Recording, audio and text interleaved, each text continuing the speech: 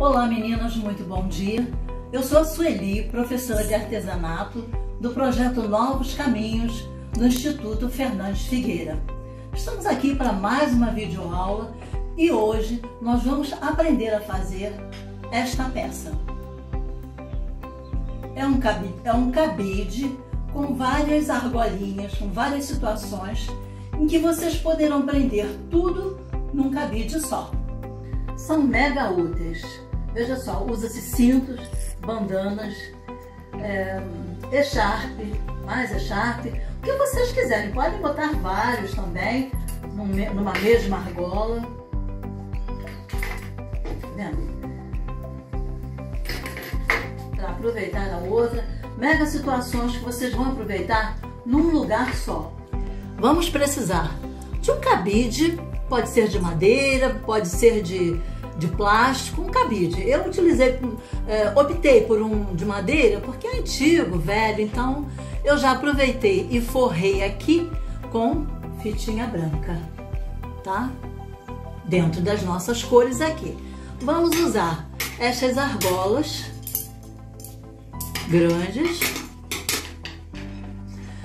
retalhinhos de fita, fita larga, Acho que essa daqui deve ser a número 4.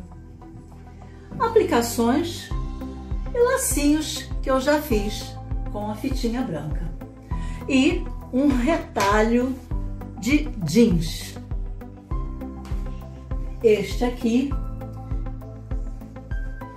já foi aproveitado, né? foi cortado, aproveitei. Agora este pedaço aqui eu vou fazer o forro deste cabide. Assim, olha. Eu vou colocar enviesado, porque vamos cortar assim e aqui, deixando um pedaço para virar. Tá bom? Então, vamos lá. Pessoal, depois de cortado, ele fica assim. Olha só. Aqui será onde vão entrar os retalhinhos de fita. Aqui nós fecharemos nas laterais. Eu aqui já utilizei a fitinha. Aqui eu também aproveitei e fiz um, um acabamento na máquina de costura para não desfiar, porque esse jeans aqui desfia muito. Então, aqui já está praticamente solucionado. Se você tiver máquina de costura, você pode fechar aqui e um lado. Se você não tiver, não tem problema, pode fazer a costura à mão. Costura à mão vai ficar bem do mesmo jeito, tá? Porque nós vamos parar aqui. E onde faremos o acabamento então com a fitinha. Então, vamos lá começar a costurar aqui. Como vocês estão vendo, é na conta que nós vamos fazer. Eu alfinetei para que não saísse da posição. Agora é só costurar aqui, aqui e de um lado para que ele possa entrar, tá? Então, eu vou começar a costura e volto já. Pessoal, costurei então aqui nessas duas, nesses dois lados e aqui em cima de um lado só. Aqui ficou aberto. Então vocês estão vendo que o cabide está entrando perfeitamente. Então, agora vamos tirar e vamos colocar as fitinhas, tá vendo? Para que não desfie. Então, isso aqui é importante, senão as fitas vão desfiar também, tá? Então, vamos prender agora as argolas para depois fazer a costura aqui. E aqui finalizar, finalmente, tá bom? Então vamos lá. Vamos começar com as argolinhas que nós vamos colocar aqui. Prendendo, depois costurando e depois finalizando aqui. Volto já. Então, olha só, meninas, a montagem é essa daqui. Você prendeu aqui por dentro as fitinhas. Ele fica à distância, às vezes foge um pouquinho, às vezes não. Tá vendo? Prendeu aqui. E aqui vai se passar uma costura só. pelo lado de fora, prendendo as fitinhas com a argola e prendendo a outra parte. Para quem não tem máquina, eu dou a sugestão de fazer tipo um pesponto, aquele pontinho que entra, sai, entra, sai, que também vai ficar muito bonitinho, tá?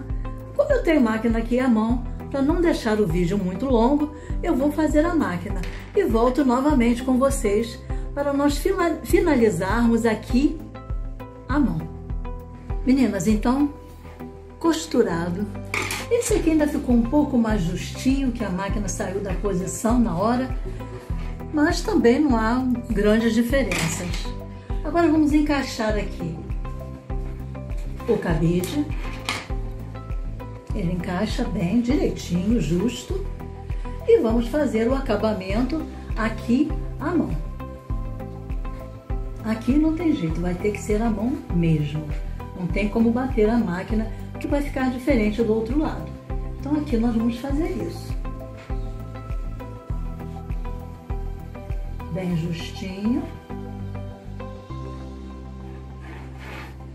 Não há necessidade de apertar demais, mas tem que ficar na posição.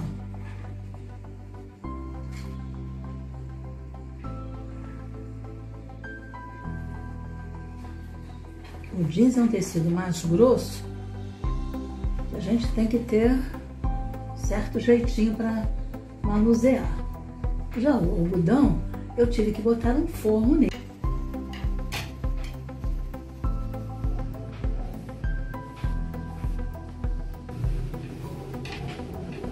Vamos aplicar isso aqui agora.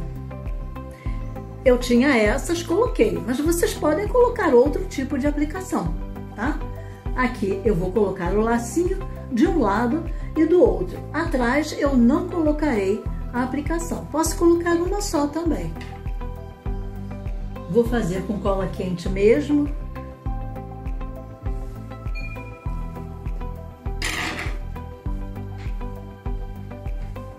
Aguardando a cola. Estão vendo que não tem dificuldade nenhuma.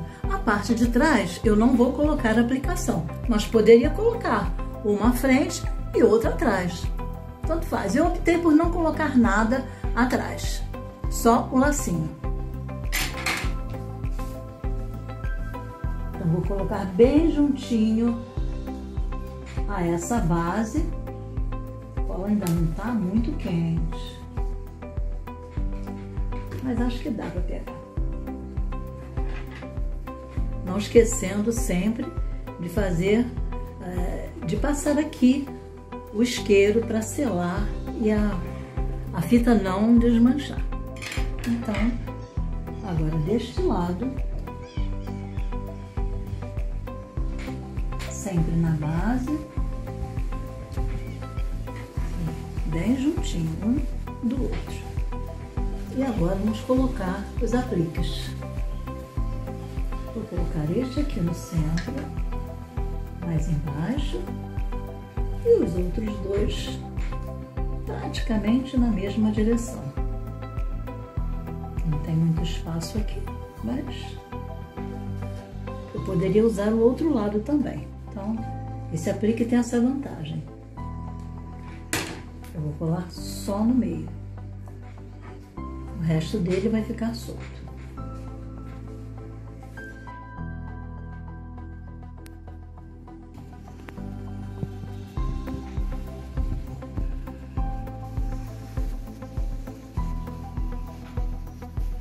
É isso aí, meninas. Então esses cabides antigos se transformam numa peça super útil para vocês colocarem várias coisas num único cabide. Tá? E esse daqui levaram menos argolas, porque são argolas maiores. Esse daqui mais argolas, porque são menores. Neste aqui, por ser um retalho de brim, de calça jeans, eu não usei um forro por dentro eu usei apenas o tecido. Neste daqui, eu usei uma manta acrílica por dentro para dar um pouco mais de firmeza, porque o tecido é algodão, é mais molinho, não daria firmeza. Então, do restante. Aqui eu não achei necessário colocar mais nada, porque o tecido é muito delicado, é fofo. E este daqui eu coloquei essas aplicações dentro do esquema colorido das argolas. Ambos ficaram muito bonitos. Não tem mais nada, é só isso, mãos à obra. Quero ver vocês fazerem essa peça muito útil e faturando um troquinho aí nesse início de 2021, tá bom? Beijo para vocês. Se cuidem, fiquem com Deus.